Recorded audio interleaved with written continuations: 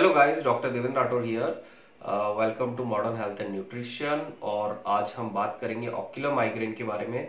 Ocular migraine क्या होता है? उसके क्या क्या कारण हो सकते हैं? उसके बारे में बताएँगे। मैंने माइग्रेन के ऊपर तो एक वीडियो बनाया हुआ है, उसमें भी ऑक्यूलर माइग्रेन का मैंने ज़िक्र किया हुआ है। तो this is a type of migraine ऐसा कुछ अलग नहीं है। लेकिन जो इसके सिम्टम्स होते हैं जनरल माइग्रेन से काफ़ी अलग होते हैं। और काफ़ी ज़्यादा जो पेशेंट को, जिस पेशेंट को अगर इस तरह के सिम्टम्स आते हैं, उसके लिए ये वाली सिचुएशन काफ़ी पैनिकी होती है, ठीक है? बहुत ज़्यादा उस टाइम पर घबरा जाता है। तो जनरल क्या सिम्टम्स आते हैं उसके बारे में अपन चर्चा करते हैं, ठीक है?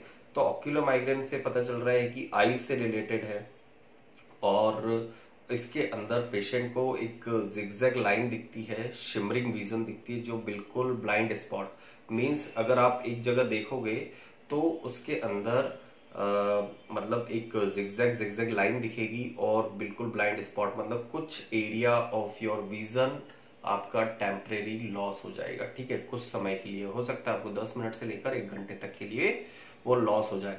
तो वो वाली कंडीशन में क्या होता है कि जो पेशेंट होता है, काफ़ी ज़्यादा घबरा जाते हैं, है ना? बहुत पैनिकफुल पैनिक वाली एक कंडीशन हो जाती है। तो वो वाली कंडीशन ये होती है उस वाली कंडीशन को हम ऑक्यूलर माइग्रेन बोलते हैं, ठीक है? ये ऑक्यूलर माइग्रेन इसलिए कहा जाता है क्योंकि ये बिना किसी अदर अदर सिम्टम्स के साथ नहीं मिलती है। जैसे कि जो क्लासिक माइग्रेन होता है, आपको हेडेक के साथ मिलेगा वॉमिटिंग आपको मिलेगी नौशिया मिलेगा, लेकिन ऑक्यूलर माइग्रेन में इस तरह के सिम्टम्स नहीं मिलते हैं।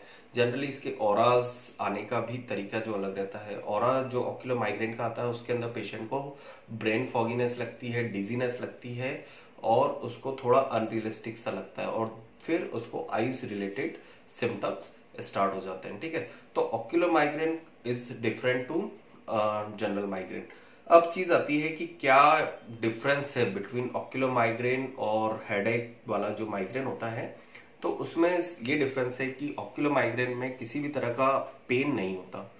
पेनफुल सिचुएशन बिल्कुल नहीं है। जैसा कि मैंने पिछले फिगर में बताई पिक्चर में बताया कि ऑक्यूलर माइग्रेन में पेशेंट को किस तरह से दिखता है।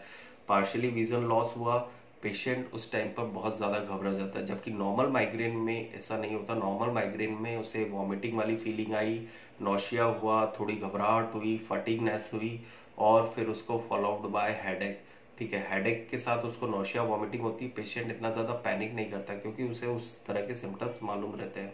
लेकिन ऑक्यूलर वाली कंडीशन में ये होता है कि पेशेंट बिल्कुल कंप्लीटली डिटेच हो जाता है बाहर के एनवायरमेंट से, जिसकी वजह से वो काफ़ी ज़्यादा परेशान हो जाता है, ठीक है?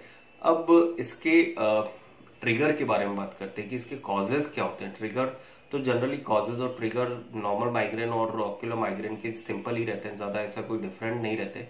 लेकिन ऑक्यूलर माइग्रेन में के ट्रिगर्स जो रहते हैं, सबसे मेन ट्रिगर उसका होता है स्ट्रेस और स्लीप डेप्रिवेशन ठीक है?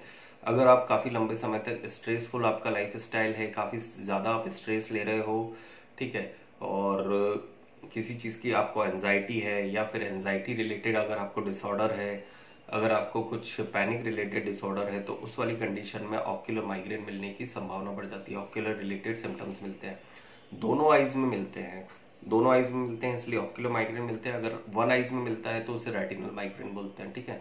तो retinal migraine is a different thing लेकिन ऑक्यूलर माइग्रेन में दोनों आइज़ में मिलता है थोड़ा ब्लाइंड स्पॉट मिलता है जिगजैग शिमर विजन मिलता है, जिसकी वजह से पेशेंट उस चीज़ को काफ़ी मतलब सोचता है कि जल्दी से जल्दी वो चीज़ हट जाए, ठीक है?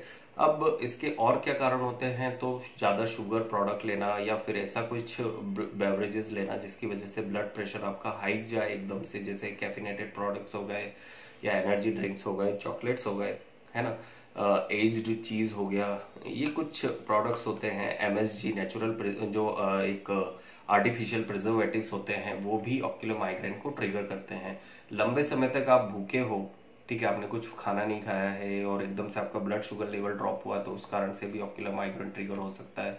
नेक्स्ट थिंग इसमें ये आती है कि अगर आपने आपकी नींद जो रहती है स्लीप डेप्रिव्ड हो आप मतलब कुछ लोगों में देखा गया है कि स्लीप डेप्रिवेशन बहुत ज़्यादा मिलता है तो स्लीप डेप्रिवेशन वाले पेशेंट में भी ऑक्यूलर माइग्रेन काफ़ी ज़्यादा मात्रा में देखने को मिला है। काफ़ी ज़्यादा पेशेंट मेरे पास जितने भी आए मैक्सिमम नंबर ऑफ़ पेशेंट में स्लीप डेप्रिवेशन और स्ट्रेस ज़्यादा मिला ऑक्यूलर माइग्रेन को।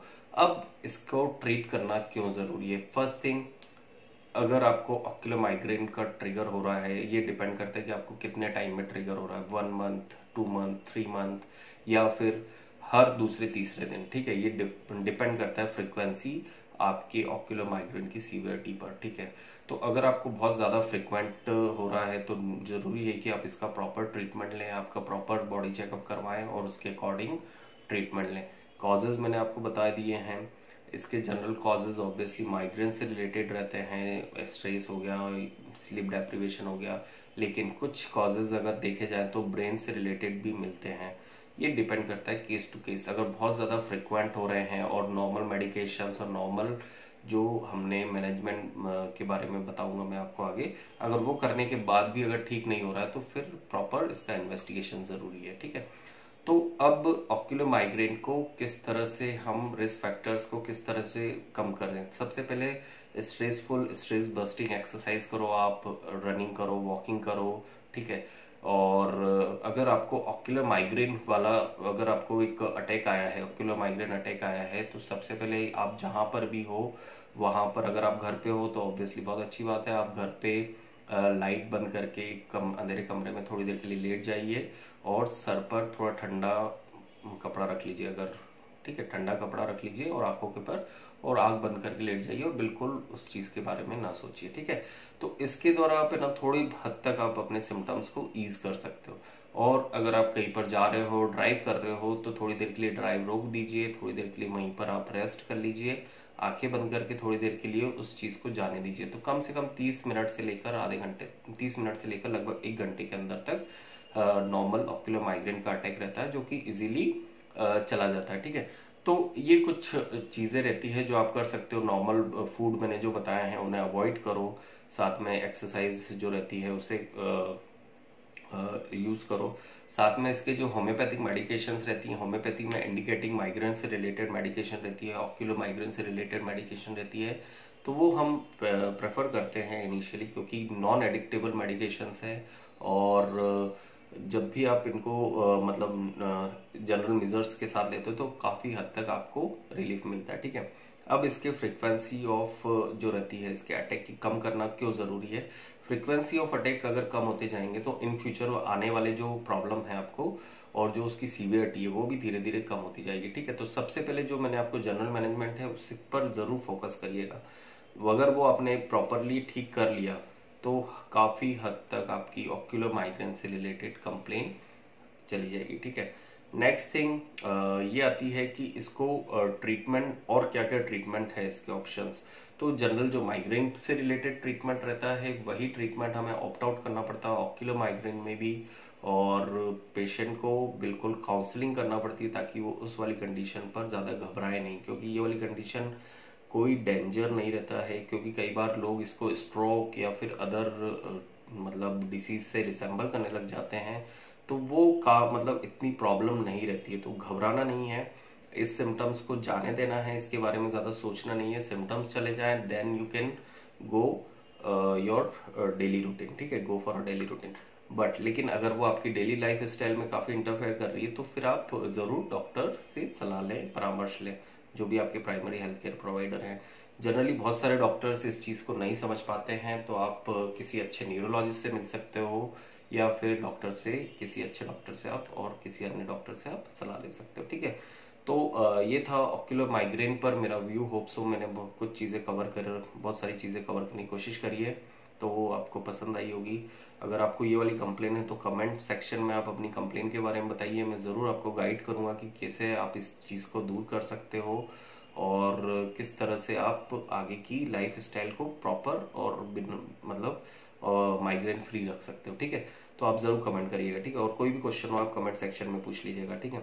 और चैनल को सब्सक्राइब करना ना भूलें बेल आइकन दबाओ, ताकि जब भी हम लाइव आए लाइव क्वेश्चन आस्किंग जब भी आप करें, तब हम आपको नोटिफिकेशन आ जाए, ठीक है? और वीडियो को लाइक करें शेयर करें, ठीक है? Thank you very much